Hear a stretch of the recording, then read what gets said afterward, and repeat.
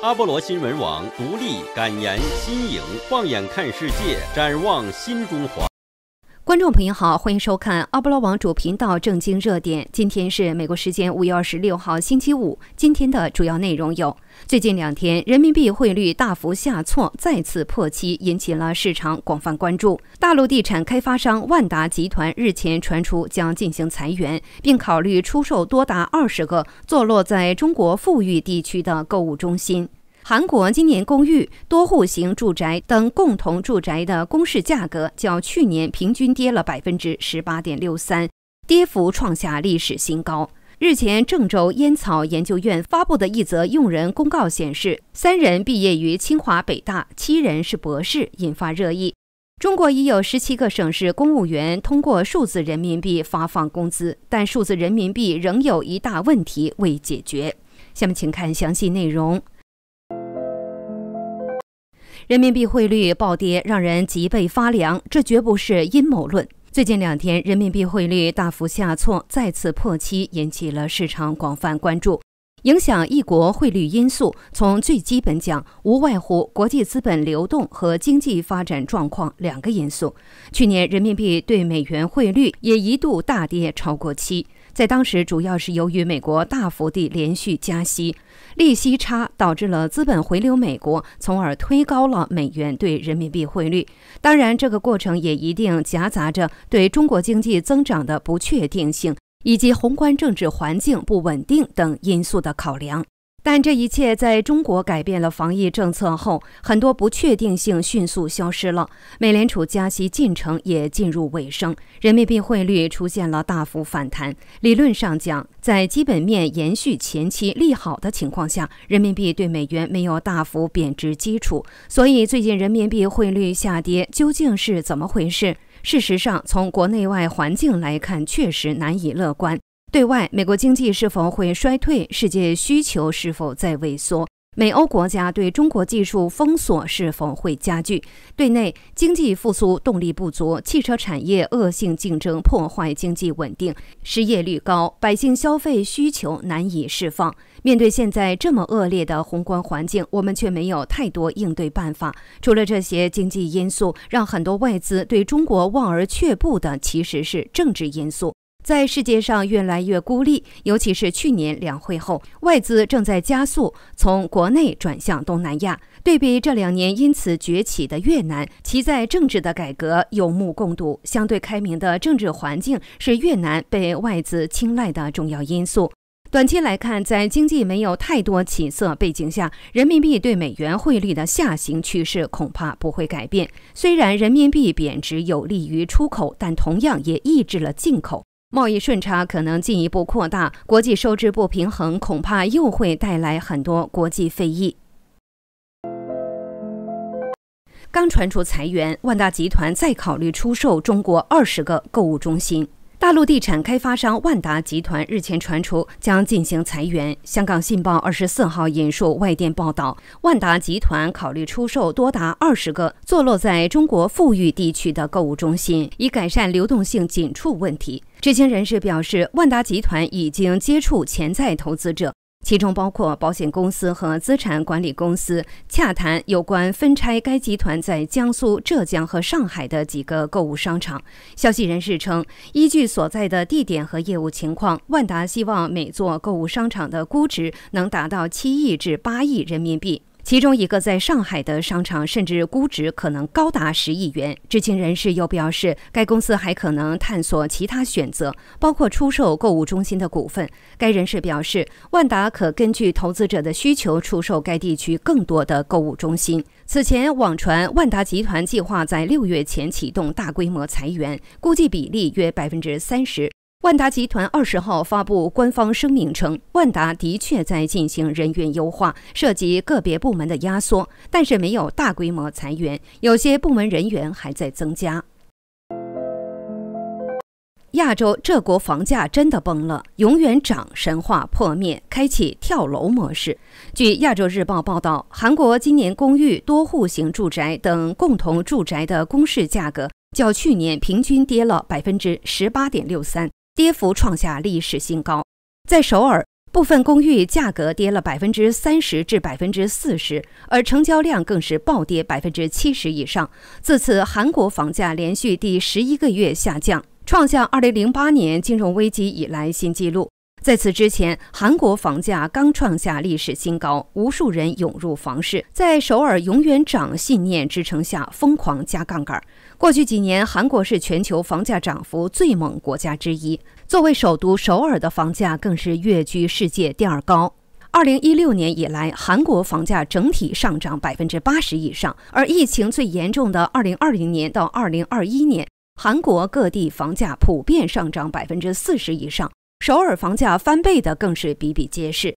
报道指出，韩国房价崩盘有四大导火线：一、经济走软，全球经济衰退的风险升高；仰赖外贸的韩国连续出现出口负成长，并出现了史上第二涨贸易逆差，仅次于1997年前后，经济疲软进而波及到房地产市场。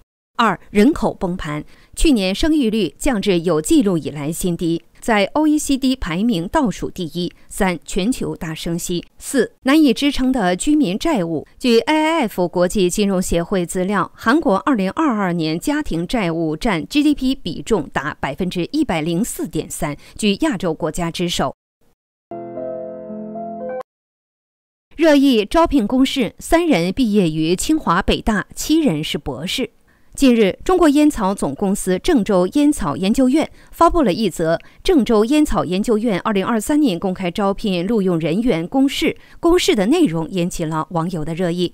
公示内容显示，郑州烟草研究院于二零二三年四月二十三号至二十八号进行了面试，录用了十一人。十一人中有三人毕业于清华北大，有七人是博士研究生学历。针对以上信息，网络上也产生了热议：烟草研究院是否需要这么高的学历？清华大学的博士去研究烟草，是否有点大材小用，浪费了人才？针对网友的热议，五月二十三号下午，郑州烟草研究院相关工作人员回应称：“我们研究院是科研单位，科研单位招硕士、博士是很正常的。”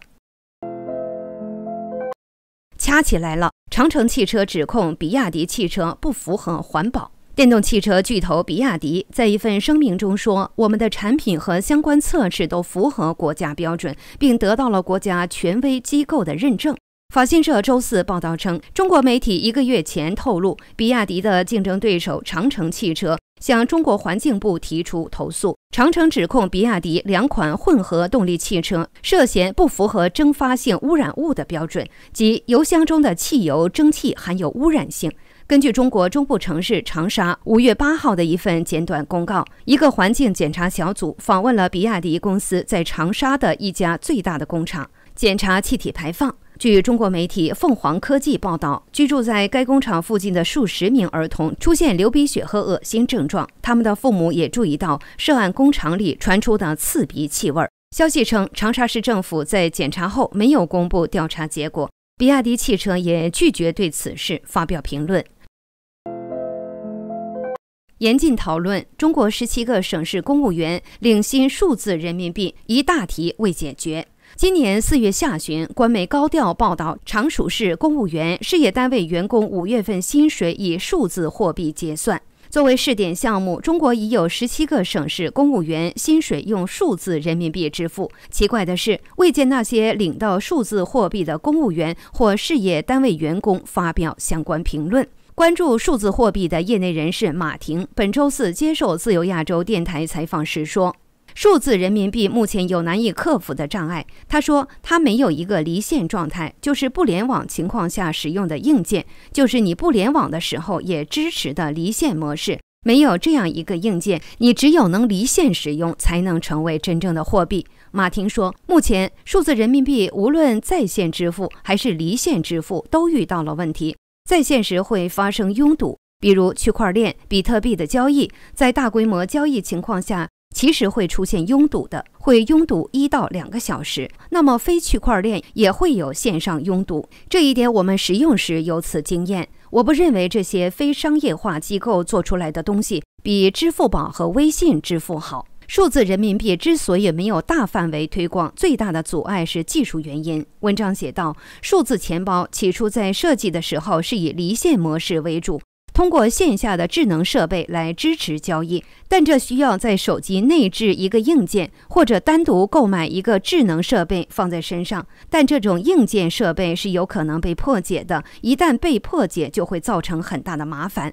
即使数字人民币支付具备了离线模式，那么捡到智能设备的人可以立即任意消费，这比带现金出门遗失钱包的损失更大。马婷说：“我没有看到他们使用数字货币的体验，因为现在公务员不让他们上网发评论，所以他们不敢乱说话、抱怨。数字货币现在都是公务员在用。”楼市惊现负首付。近日，在大陆多个社交平台上出现了“负首付”“反首付”等营销话术。例如，房产价格五百二十万元，但可以向银行贷款五百七十万元，这样购房者不仅无需付首付，还能拿到五十万元作为装修款。五月二十四号，买房现付首付被推上热搜榜，这一做法引起了广泛的关注和讨论。网民表示，只要房价不降，别的都是白搭，贷款越多，还的越多。据中国证券报报道，从多方了解到，通过开发商反首付、做高合同价等方法，一些房产看似可以做到零首付、低首付乃至负首付，但也面临财务和法律风险。这套房子评估价是五百七十万元，但业主低价卖，卖五百二十万元。你可以在银行贷五百七十万元全款买这套房子，还剩下五十万元装修。房产中介王女士表示，其代理的一套深圳罗湖区的房产可以做到负首付。针对近期零首付、低首付、送首付、首付贷、反首付等首付模式的出现，上海易居房地产研究院研究总监严跃进说：“这是营销领域乱象的体现。”